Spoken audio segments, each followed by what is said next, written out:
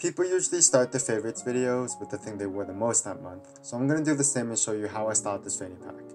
They're having a moment right now. What do you want?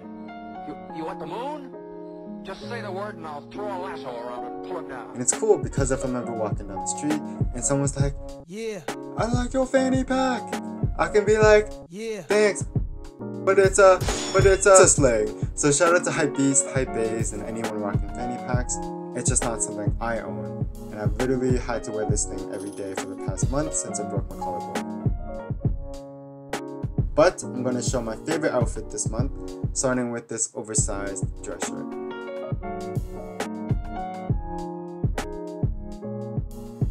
I'm really lazy, so I ask myself, will this cover a potential fruit baby? Does it hide the fact that I don't work out? Does it cover my non-thickness? If so, it's a go. So I tend to roll my sleeves up at the elbow and tuck in a section.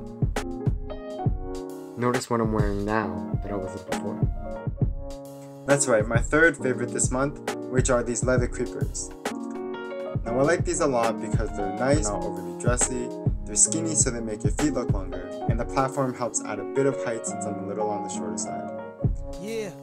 Mine are actually women's shoes from Nine West, but like all leather shoes, you should help keep their shape by using some shoe trees.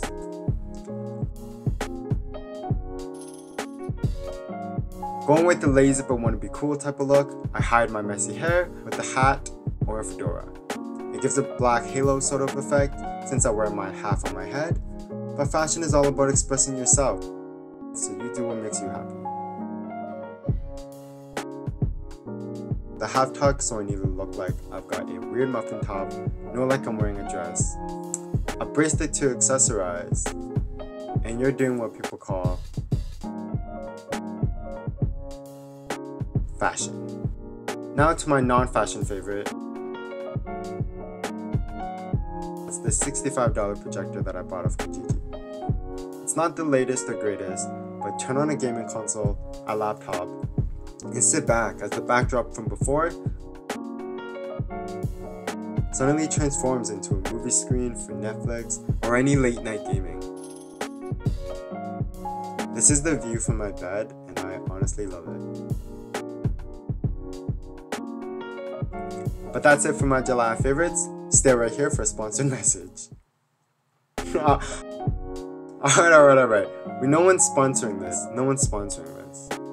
But if you'd like to work with me or leave a comment below, feel free to.